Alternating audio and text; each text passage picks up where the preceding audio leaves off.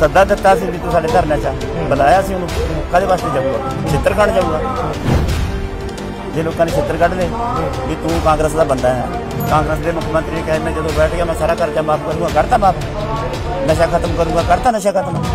ਰੋਜ਼ਗਾਰ ਦੇਊਂਗਾ, ਘਰ ਦੇ ਕੇ ਕੀ ਜਿਹਨੂੰ ਦੇਤਾ ਕੀ ਜਵਾਬ ਦੇਊਗਾ ਜਾਨੀ ਜਾਊਗਾ। ਬਹੁਤ ਵਧੀਆ ਭਾਰਤ ਬੰਦ ਨੂੰ ਹੁੰਗਾਰਾ ਮਿਲਿਆ ਸਾਰੇ ਦੇਸ਼ ਚੋਂ ਮਿਲਿਆ। ਸਾਰੀਆਂ ਸੰਸਥਾਵਾਂ ਨੇ ਦਿੱਤਾ ਸਾਰੇ ਕਿੱਤੇ ਵਾਲਿਆਂ ਨੇ ਦਿੱਤਾ ਸਾਰੇ ਦੁਕਾਨਦਾਰ ਇੰਡਸਟਰੀ ਛੋਟੀ ਇੰਡਸਟਰੀ ਕੁੱਲ ਨੇ ਜਨਤਾ ਦਾ ਅੰਦੋਲਨ ਹੈ, ਜਨਤਾ ਦਾ ਸੱਦਾ ਸੀ ਜਨਤਾ ਨੇ। ਮੁੱਦੇ ਦੀ ਚੋਭ ਹੈ ਲੋਕਾਂ ਨੂੰ ਤਕਲੀਫ ਹੈ ਲੋਕਾਂ ਦੀਆਂ ਸਮੱਸਿਆਵਾਂ ਨੇ ਲੋਕਾਂ ਦੀ ਵਿਕਰੀ ਨਹੀਂ ਹੁੰਦੀ ਇਹਨਾਂ ਦੀ ਆਮਦਨ ਘਟ ਗਈ ਇਹਨਾਂ ਦੇ ਕਿੱਤੇ ਫੇਲ ਹੋ ਗਏ ਇਹਨਾਂ ਨੂੰ ਰੋਜ਼ਗਾਰ ਨਹੀਂ ਇਹਨਾਂ ਨੂੰ ਪੜ੍ਹਾਈ ਮਹਿੰਗੀ ਆ ਸਿਹਤ ਸੇਵਾਵਾਂ ਮਹਿੰਗੀਆਂ ਨੇ ਇਲਾਜ ਮਹਿੰਗਾ ਹੈ। ਉਹ ਸਾਰਾ ਕੁਝ ਇਹਨਾਂ ਦਾ ਮਹਿੰਗਾ ਹੈ, ਉਸ ਤੋਂ ਤੰਗ ਹੋਏ ਲੋਕ ਨੇ। ਉਹ ਇਹਨੂੰ ਕਾਲ ਦੇ ਉੱਤੇ ਇਹਨਾਂ ਨੂੰ ਸਾਰਾ ਨੁਕਸ ਜਿਹੜਾ ਆਪਣਾ ਪੋਲੀਟੀਕਲ ਪਾਰਟੀਆਂ 'ਚ ਲੱਗਦਾ ਹੈ। ਇਸ ਕਰਕੇ ਉਹਦੇ ਵਿਰੋਧ 'ਚ ਇਹ ਸਾਰਾ ਕੁਝ ਹੋਇਆ।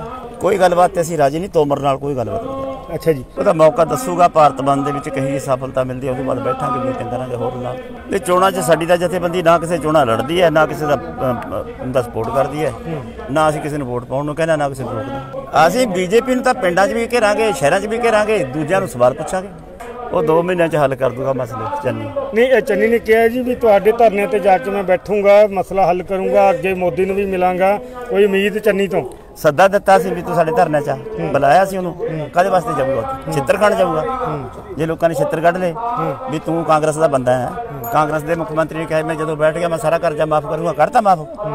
ਨਸ਼ਾ ਖਤਮ ਕਰੂੰਗਾ ਕਰਤਾ ਨਸ਼ਾ ਖਤਮ? ਰੋਜ਼ਗਾਰ ਦੇਊਂਗਾ ਘਰ ਦੇ ਕੇ ਕੀ ਜਿਹਨੂੰ ਦੇਤਾ ਕੀ ਜਵਾਬ ਦੇਊਗਾ ਜਾਨੀ ਉਹਦੇ ਛਿੱਤਰ ਖਾਣ ਜਾਊਗਾ।